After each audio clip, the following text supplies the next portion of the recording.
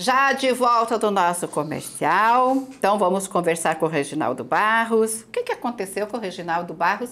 Saiu né, da agência do trabalhador e assumiu uma outra pasta, vamos falar assim. Tudo bem contigo? Tudo bem, Tamires. Grande abraço a você. Obrigado novamente por estar aqui nesse programa maravilhoso. Né, aos nossos telespectadores. É, todos estão perguntando o que aconteceu com o Reginaldo, saiu da Agência do Trabalhador né, e assumindo a diretoria de trânsito, no qual a Umutrans. É, foi a convite né, do, do, próprio prefeito. Sim. Né? O prefeito esteve na agência e com a aposentadoria da Dianês, né? E ele precisava de alguém que, que tinha conhecimento e, é, pra, para o órgão, né? E como eu já estive no, como diretor em 2009 e 2012, na, na época do então prefeito Moacir Silva, e ele falou, Reginaldo, tem uma missão para você, você aceita? Eu, quem tem juiz obedece, né? claro, com certeza, acabei aceitando, né? Esse novo desafio, vamos dizer assim, deixando a gerência da agência do trabalhador e assumindo então aí a, a diretoria da de trânsito. É, só que também você já tem uma boa experiência, né? Já passou por lá? Continua do mesmo jeito? Já passei por lá. Ou mais problemas? Não, é bem, hoje uma estrutura imensa. Inclusive eu quero fazer justiça, o Tamires, né? É, tem o Eliseu Vital, que é o nosso secretário, e também a Dianês, né, que era a diretora, que fez um excelente trabalho. Sim. Né, tem muitos projetos em andamento né, que o Eliseu e a, e a Dianês vinha, vinha trabalhando. Isso que é importante, a gente vai dar continuidade e melhorar algumas coisas que precisam ser melhoradas, mas hoje é totalmente diferente da minha época de 2009 a 2012, é, e hoje a estrutura é gigante. Naquela época nós trabalhávamos em quatro pessoas, hoje tem cerca de 40 hum. é, funcionários, né, entre Nossa. equipes né, da, da, sinalização. Hoje nós temos a divisão de engenharia, que é da Regina, que é arquiteta responsável, nós temos a, a, divisão de transporte, que é o, é o Juraci, que é o responsável, nós temos a parte ali administrativa, uma quantidade, e precisa de mais ainda, tá? para chegar mais alguns funcionários, né? para atender aí a população, e sem falar também dos nossos agentes, né? Você pode incluir os agentes também que estão na responsabilidade da diretoria da Almutrans. Ótimo. Você fez um trabalho muitíssimo bom, maravilhoso na Agência Trabalhador. Não tinha aquele que não elogiava né, o trabalho. Então, foi um trabalho muito bem feito e muita gente fala assim, por que, que ele saiu se estava tão bem lá e um trabalho tão bonito, né? E até eu perguntei para você antes, qual que era o melhor, né? é como você falou, né? Quem tem juízo obedece, né? Um abraço aí para o nosso prefeito, a qualquer momento vamos trazer o prefeito também para vir no programa e falar dessas mudanças todas, né? E saber como que está aí o andamento da nossa cidade, né? Então vamos lá. Estacionamento rotativo. Então, tem, tem situações que a gente fica se perguntando, né? É, volta ou não volta? Pois é, primeiro, já que você citou a Agência Trabalhador, quero aqui né, agradecer toda a equipe da Agência Trabalhador, no qual eu estive lá por dois anos, né? Graças um tempo, a Deus. Né? Tempo, Teve fez, muitos que apostavam, história. na época, quando fui nomeado, muitos falaram, ah, o Reginaldo fica 30 dias lá, o que, que o Reginaldo entende sobre trabalho, né? E eu provei para essas pessoas que realmente, se você não tem conhecimento, é só ir atrás e buscar e colocá-los em prática as ações, né? Então eu quero aqui agradecer a nossa equipe da Agência Trabalhador, que é nossa, é do município, né?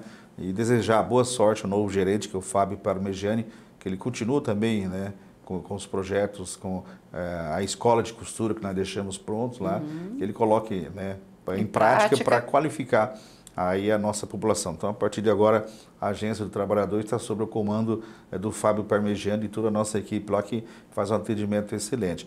É, na questão do, voltando agora para a diretoria da, de trânsito, já vinha sendo feito aí um trabalho, né, projeto, inclusive a pedido do prefeito Hermes Cimentel, porque ele recebe as reivindicações, é, principalmente dos nossos empresários, né, os empresários, eles cobram há muitos anos, tivemos no passado o que aconteceu, a empresa que exercia esse trabalho, essa concessão, acabou sendo interrompida e prejudicando muito os comerciantes. Né? A gente percebe por aí a dificuldade para as pessoas encontrarem. Eu sempre falo, é o mal necessário. Uhum. Né? É, porque não tem como outra alternativa se não for realmente a implantação do estacionamento rotativo. E o prefeito vem sempre pedindo que seja é, feito um estudo, porque não é tão simples, não é tão prático assim, é que seja feito um levantamento e que o estacionamento rotativo que foi implantado, que traz, além de tudo, comodidade né, para o, as pessoas que estão à procura é, dos estacionamentos, mas acima de tudo também que, que não seja uma fábrica de multa. Né? É Isso verdade. o prefeito sempre pediu. E aí, baseado nisso... Trabalhar com responsabilidade, né? Com certeza. Baseado nisso, nosso secretário Eliseu Vital, né, conversando, inclusive nós tivemos nos últimos dias uma empresa que esteve aqui em Morama, ela fazendo a apresentação do sistema dela hum. né, para o presidente da CIL, o presidente do Siderologista, é, outras lideranças também que estiveram acompanhando a apresentação desta empresa, que a partir de agora muitas empresas, né, já sabendo que o Moarama tem esse interesse, ela vem ao Moarama e fazer a apresentação e aí baseado nisso, inclusive nós vamos estar também indo, indo, indo a, em algumas cidades né, que já tem um sistema que hoje trabalha-se muito na questão digital. Né? Para você ter ideia, essa empresa que esteve fazendo a apresentação, ela tem um veículo né, com câmeras que fa, passa, faz a leitura, e aí é importante que o Morama inicia, bem provável que o Morama inicie com um sistema híbrido, que além do digital também tenha aí a questão do cartão, é porque a gente sabe que a região, as pessoas né, humildes, é, tem celular, de repente não consegue é, baixar um aplicativo, né?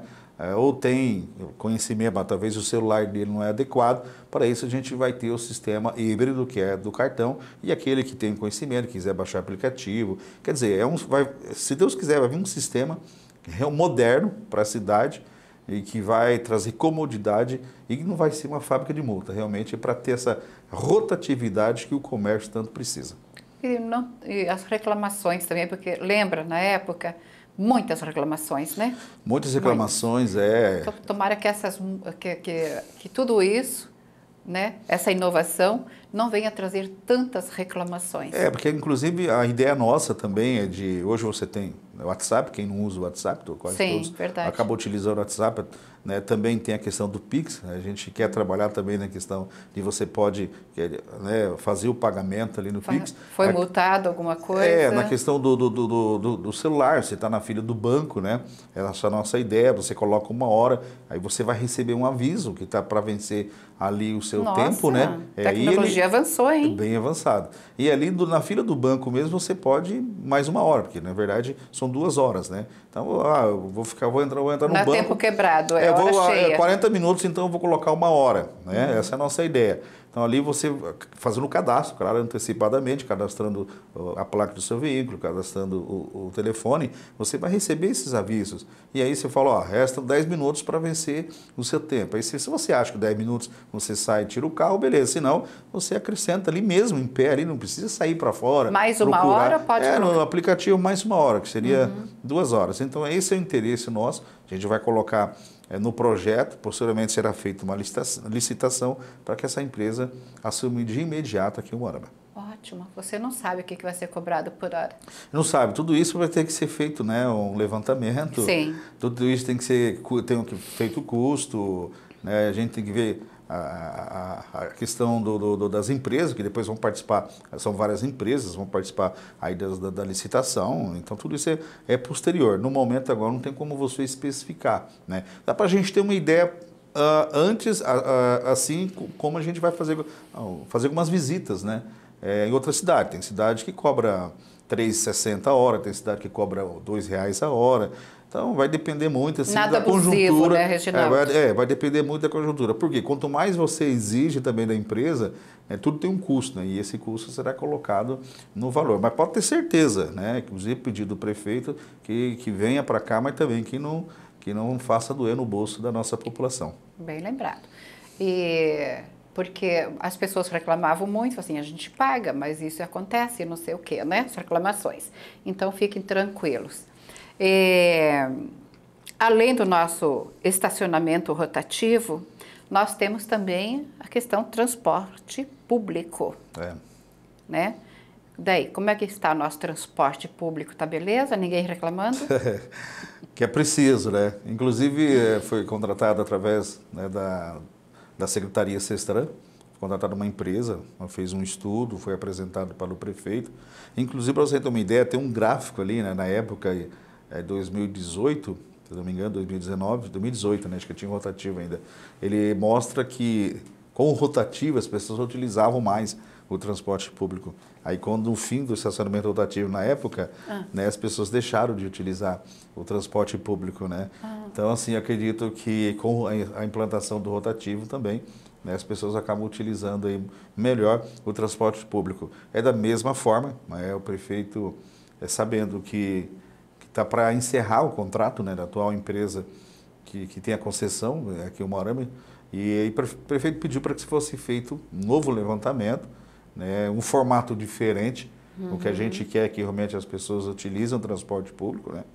Mas para isso tem que ser feito um levantamento, questão de tempo, pesquisa, as pessoas estão sendo pesquisadas, né? Ah, o terminal também a gente tem que receber uma reforma adequada e essa empresa preparando então esse estudo e posteriormente será feito aí um projeto para já entrar em licitação para esse novo formato do transporte público aqui em Morama. Aqui em Morama. E pode ter certeza, vai ser um transporte público excelente que atenda toda a comunidade. Ótimo. Voltando um pouquinho ali sobre o nosso estacionamento rotativo, isso vai ajudar bastante também nossos empresários, né? Porque a reclamação dos empresários, eu vejo o Celso Zolinho, que ele, nossa, que ele bateu nisso e bate até hoje é, funcionário veio de carro para a empresa, é. deixa o carro em casa ou deixa longe da, da, da empresa, né? Deixe ah, em volta da empresa para clientes. Isso sempre foi, e não só dele, mas de muitos empresários. E daí, como é que vai ficar? Vai melhorar, você acha? Olha, segundo o IBGES, o último agora, acho que não está oficial, mas já divulgou é, de forma extraoficial, temos 117 mil habitantes, né? Chegam a 117 mil. Aumentou bem? Nós temos 94 mil veículos registrados somente em Umuarama. Nossa, então, cresceu bem. Você analisa bem. E aí você coloca, o, o Tamires, mais aí uns 20 mil veículos, é, que é chamado frota flutuante.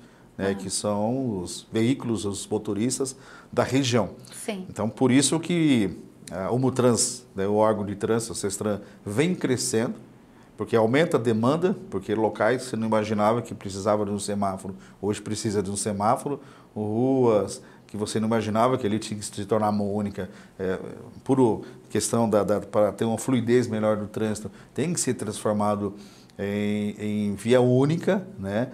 Então, pela quantidade de veículos circulando. E, consequentemente, vem também a questão do comércio, né? como você disse.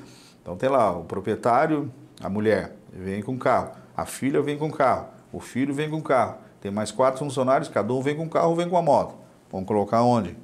Na via. Aí, aí cria-se aquela falsa ilusão que você andando na cidade, nossa, o comércio aqui o Morama é forte.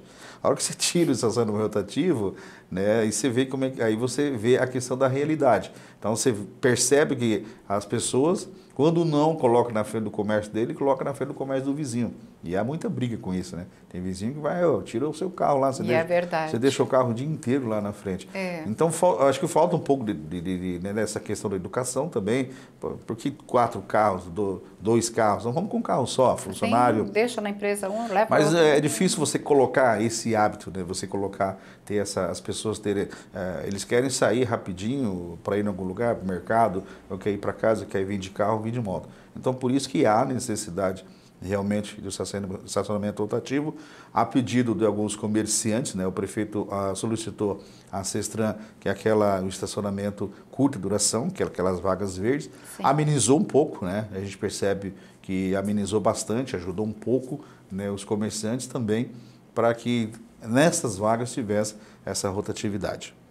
É isso aí, gente. Tem que é, trabalhar o sistema carona né?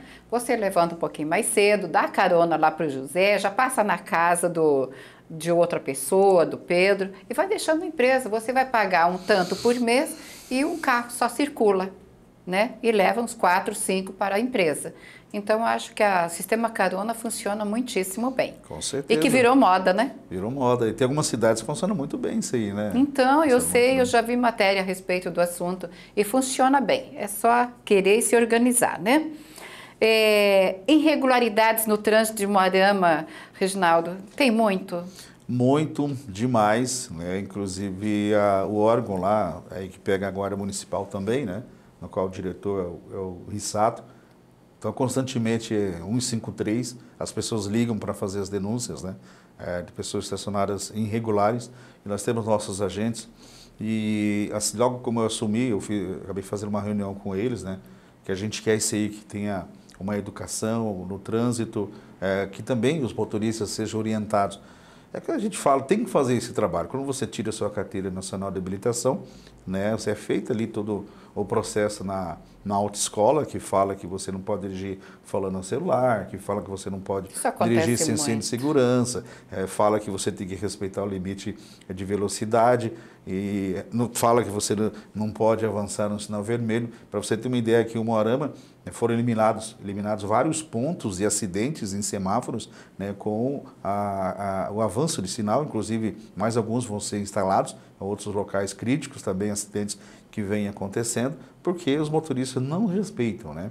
Então a, a gente pede sempre é, principalmente os principalmente as motos, né, os motociclistas, é, saem um pouquinho mais cedo de casa. Eles saem em cima da hora, eles não respeitam a sinalização pare, respeita aí o avanço de sinal e quando acontece o acidente, lamentavelmente, acaba ocupando um leito hospitalar. É uma é. consequência muito grave. O custo Tem várias consequências. é alto para ele internado e principalmente para ele recuper, se recuperar posterior. Né? Quem que não tem alguém da família ou um amigo que se envolveu em acidente que, que vive com sequelas, com pernas quebradas, pernas tortas, o braço, né? ou quando não, leva até a morte. É. Leva até a morte. Então tem que ter um pouco de cautela, um pouco de educação é, no trânsito. Né? Então assim, a gente percebe, através dos nossos agentes, né, de que aqui o campeão né, é o celular né? Porque você acha que não, mas cinco segundos ali que você dá uma olhadinha numa mensagem no WhatsApp ali, você se envolve é, no acidente. A questão da foto do cinto de segurança também. Né? Verdade. Né? Então são algumas irregularidades que a gente acaba encontrando pessoas não habilitadas, né? É, conduzindo veículo e ou até não até mesmo motocicletas são as campeãs vamos dizer assim e a gente sempre orienta fazendo campanhas né, e os agentes também, a orientação nossa é que tem que ter esse discernimento é, de se, cabendo orientação que orienta. Agora, claro, se de repente uma situação grave, não tem como você fazer vistas grossas, não tem como você ser conivente.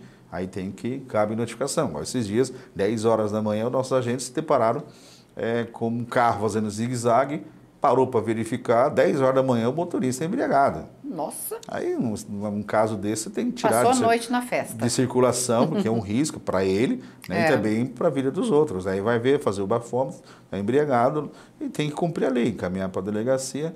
Né, tem que tirar essas pessoas de circulação. Com e é, é questão de segurança, né? Sempre.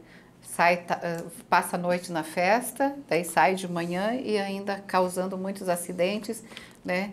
E, e causando muitos e você para, e Só para você ter uma ideia, Tamir, se você percebe, dá uma olhada quando você vê a imprensa, né, os, os sites divulgando um acidente. Você dá um zoom na foto ali, geralmente ali tem sinalização. Tem um, um, semáforo, tem lá, se olhar, você vê um pare. Você fala, opa, alguém avançou o pare. Opa, alguém avançou o sinal vermelho. Então, assim, é difícil, é difícil você encontrar um local de acidente de que ah, aconteceu esse acidente aqui por falha de uma sinalização. Não, se você for lá no local do acidente, tem toda a sinalização viária, mas as pessoas acabam não respeitando e, lamentavelmente, as consequências são graves. Verdade. Você vai abordar mais algum assunto? Tá bom.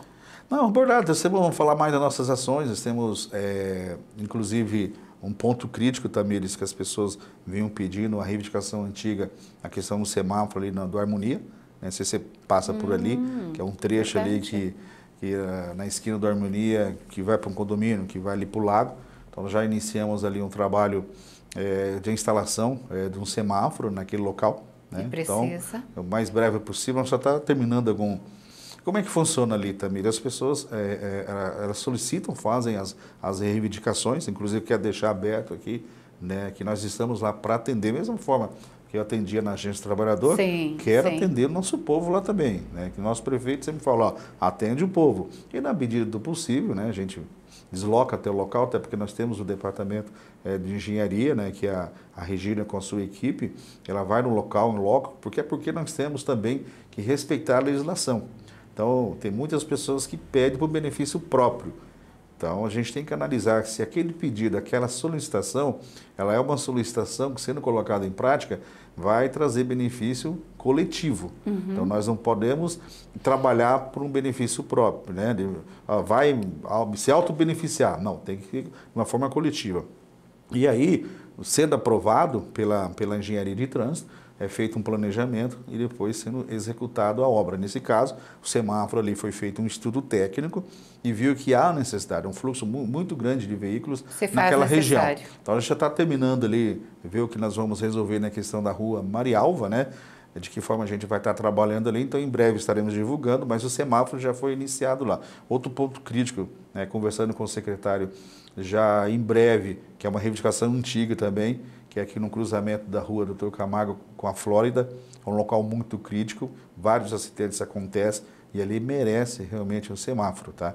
Então, eh, a gente vem trabalhando para atender e tirar né, esses pontos críticos para o objetivo também é diminuir os acidentes. Nós estamos trabalhando lá no Conjunto Guarani, que é uma ação do prefeito, que é o bairro limpo, né?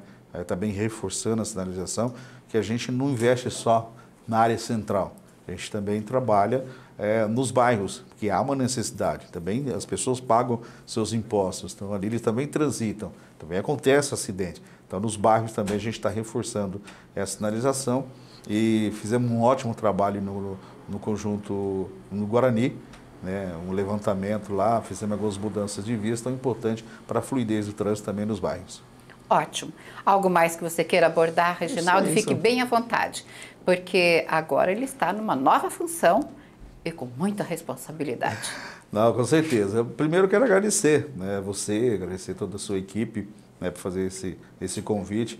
Eu, quando você precisar, né, estaremos aqui à disposição. A gente vai preparar algumas ações também que eu, eu sou muito fã de, de, eh, de blitz educativas, né? Mesmo voltando as pessoas sabendo o que precisa, né? Mas é, você tem que fazer esse alerta, motorista, você tem que ficar reforçando, né? Então a gente está preparando também algumas ações importantes. Até uh, conversando com a minha equipe, eu lembro que em 2000 e até hoje eu vi algumas fotos, foi em 2011, eu fiz um desafio e vou, eu quero fazer de novo. Se eu tiver no órgão até setembro, que é Semana Nacional de Trânsito, eu já tive conversando com o pessoal do Corpo de Bombeiros, que eu fiz um desafio na época que eu queria uh, um dia sem acidente. Uhum. Naquela época, era cinco acidentes, você lembra? É. Era cinco acidentes de motos é, por dia.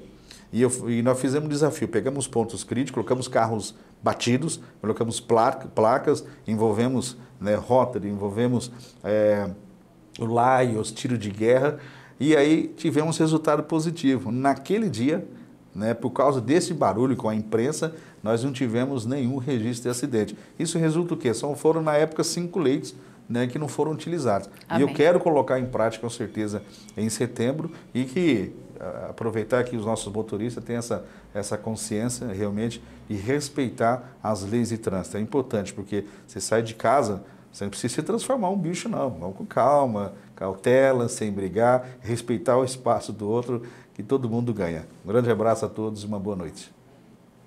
Que Jesus te abençoe grandemente, meu amigo. Amém. Até uma próxima. Eu vou para o comercial e eu volto já já.